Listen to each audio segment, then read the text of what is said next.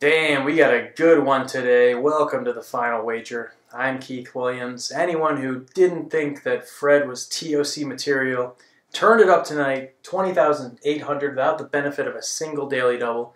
Sonam, great game as well, 16 2, and Gerry Holden tough with 8,600. If you took the online test tonight, I'd love to hear how you did. I haven't seen it yet, but uh, I'll probably be playing along later. And if you took it, best of luck. If you haven't taken it yet, I hope you try tonight's quiz and uh, use that to your advantage. As for wagers, this is going to be a fun one, I think. Sonam doubles up. She got 32-4. So Fred, to lock her out, I'll have to wager 11-6. If he's wrong, he's going to be left with 9,200. That makes it easy for Gerry. He's got to wager something, so go all in here. Although, well, maybe Fred will overwager again tonight, but I would never lay my eggs in that basket. 7,000 at most for Sonam. Gerry doubles up. He's going to have 17-2, so that's a 1,000 from Sonam. And again, Gerry is basically forced into that all-in wager. Now, Fred and Sonam might have some... Don't have any idea where that one went. Fred and Sonam might have some mind games here. Sonam goes for the 7,000 wager. Got 23-2. So to get above that, Fred will have to wager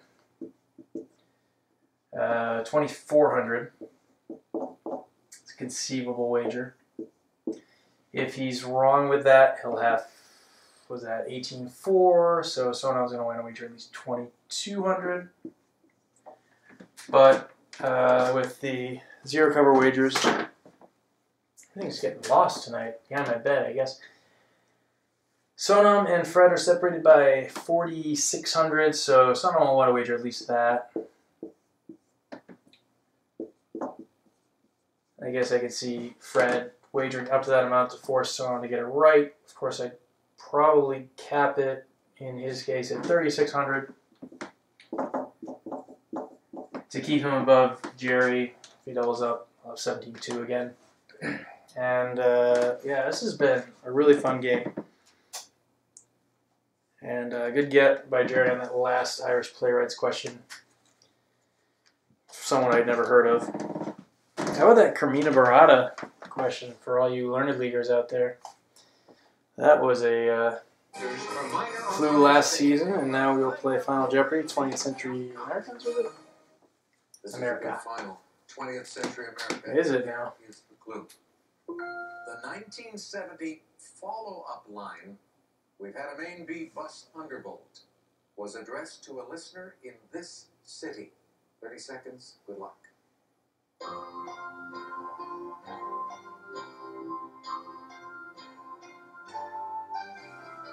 1970 Main B bus undervolt.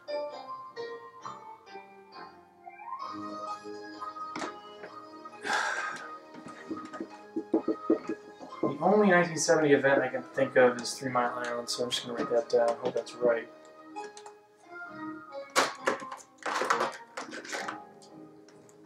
The first line is now part of American history. Houston, we have a problem. Damn it. But a good one. Did you get it? You weren't able to come up with the city. So it'll cost you how much?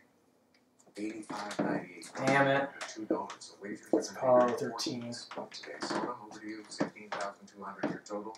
You said Philadelphia. Not a lot, please. And it cost you twelve Why? one lap. Dropping you down to thirty-nine ninety-nine and taking us to our Fred. He twenty thousand eight hundred, and he's he wrote down what is Los Angeles. No, the first part was Houston. We've had a problem, the follow-up line. We've had a What did it cost our champion? Seventy-five hundred. Hey, not bad. You pick up thirteen thousand three hundred. That now gives you up to forty-nine thousand six hundred for three days. Still alive. Still All right, yeah, so uh, clearly a case where a better wager would have won it out of second here. Fred falls to 13 3, and you didn't even wager to lock out Sona. That's weird. So if you got it right, you have 20, What? That is kind of absurd. So, had Fred gotten it right, he would have had 28-3, and had Sonam gotten it right, she'd have 28-401.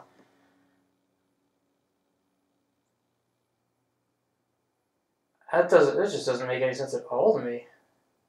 How would Sonam know to wager that amount?